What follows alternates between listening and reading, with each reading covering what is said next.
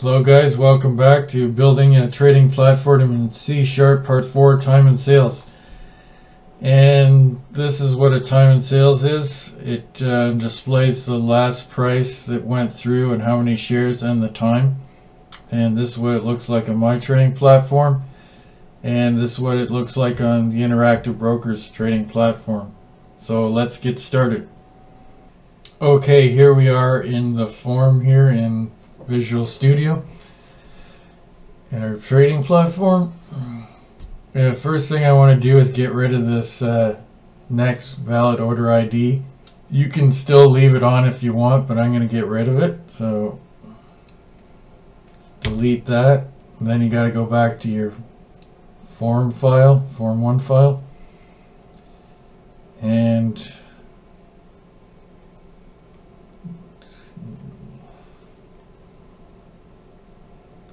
get rid of this part.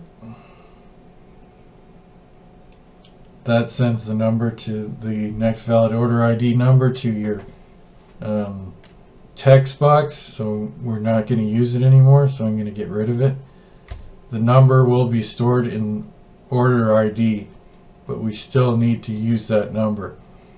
So that'll be in order ID. And then there's another piece of that down in this red part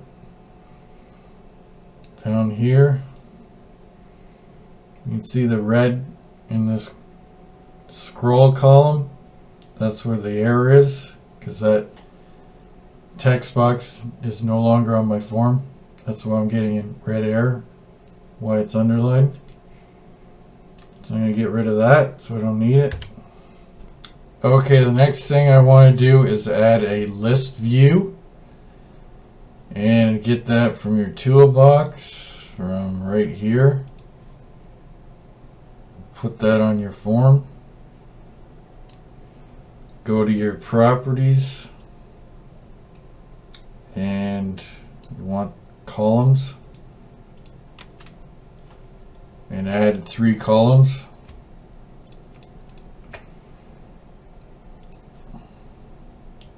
set that one to price, the text.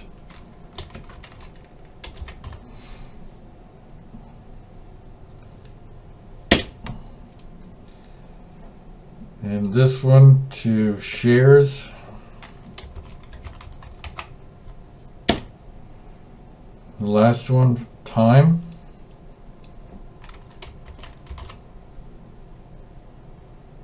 And make it 80 for the width. Okay. And there's a little arrow up here on this pointing to the right. Click on that and make sure the view is details. And that shows your column headers. Okay, we want to change the font size. Bold and I guess 10. Okay. I want to change the background color. I'm changing mine to black. And the fore color to white.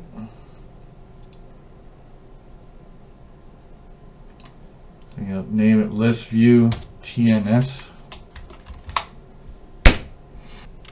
Okay, before I go any further, I want to discuss how do you get your time and sales data. And there's some documentation that you can get off of the Interactive Brokers website and their GitHub thing here. In their, under C Sharp, available tick types, and normally what you would do is you get the last price and the size um, with your tick price and tick size. But it's saying it does not include some trades and RT volume, real-time volume. So what I do is go to real-time volume here, scroll down, which is 48. And I need to use the tick string. And I need to remember this number. So when I request the data I need this number. And so I'll leave a link to this in the description too. Okay here in your form 1 file here under the method here get data uh, down here at the bottom where it says request market data you want to put that number 233 in here. Now if you had other numbers uh, that you wanted to request data from you would use a comma and add them here. Okay moving on from here go to your eWrapper file here and then look for your tick string and type this code in here. Um, and this contains the last price, trade size, trade time, trade volume, VWAP, single trade flag, true or false. Six items all together. And this is an example of the code that um, is passed on which is the actual value. It, you have your ticker ID, your tick type, and the value. The value is this string here, this example, and it's separated by uh, semicolons here. So when you get a tick type of 48, you take the value that string and pass it on to your form 1. So we're going to need to add some stuff like a delegate to form 1. So we're going to do that right here just under our get data. So add that here.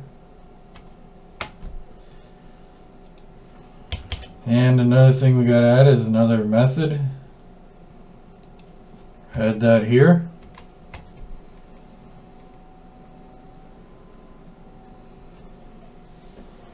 Okay, this is for the um, tick string that's sent over.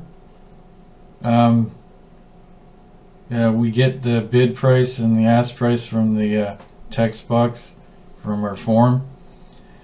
And the tick string that we sent over from the eWrapper, it's we want to split it according to the semicolons. Um, this thing you don't really need here. And so then you get the first value from the list and convert it to a double. This value is the last price. So that's what I named the variable. And the second item, which is number one, if you count from zero, that's the trade size. So we convert that to an integer because it comes across as a string.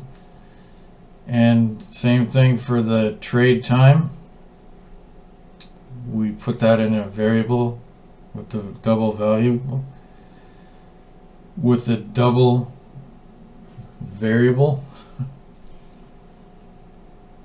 okay, this uh, just adds two zeros to the um, share amount instead of having to convert it because usually when it comes across it'll just be one and you have to just uh, assume that it's a hundred. And this formats the string uh, with commas in it. Okay and then you get the time. The time comes across as a epoch time and so you want to change that into something you can read instead of having just one long set of numbers? Oh and this is if you're you're um, on daylight savings time like summer or winter time.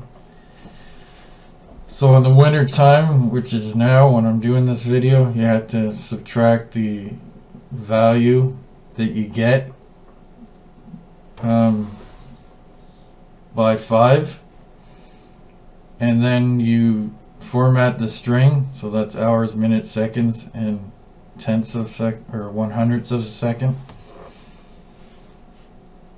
I'm also taking the mean price the middle price from the bid and the ask. That's what that is and then I add that to the bid so I know what the mean price is. So when I come down here I have um, four options. One is if the ask equals the last price and another one is the bid if it equals the last price. And this is if the last price is greater than the mean and the last price is less than the ask, then you change the color, basically. So when the information comes across and you want to put it in your list view, this is how I do it. You have to create this list view item right here. That needs to be in there. And this is how you put it into the list view. So that's changing the color of the font. And this will be the last price that comes across and the share size and the time and then that puts it all at the top of the list form. If you put zero it'll put it at the beginning. If you put any other if you put any other number it will put it wherever that is in the list. So you have to use zero. And the same for this. Okay, let's test it out. I'm going to press start here. Minimize this. Hit connect. Okay, prices are coming in. And if I change the symbol to Tesla, getting the Tesla prices and oh I still got the Microsoft prices in there so I have to correct that. So go back to where you get your data. And type in list view.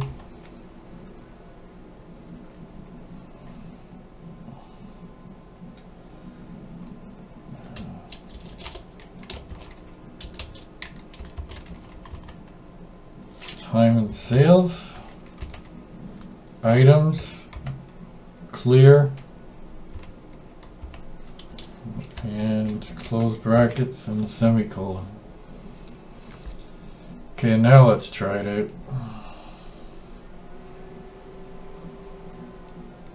Minimize. Connect. Okay, got the Microsoft prices coming in.